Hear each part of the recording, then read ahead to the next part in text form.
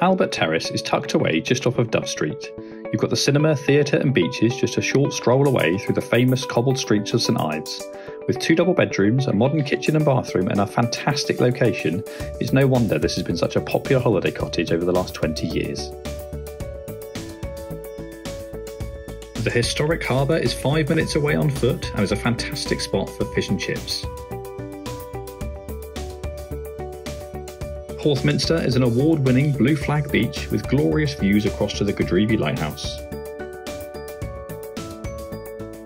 Porthmeor is another blue flag beach and is home to the local surf school.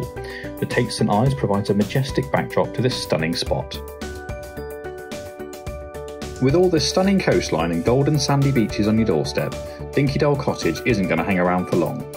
To book your viewing, call Harding Laity Estate Agents on 01736 794 931.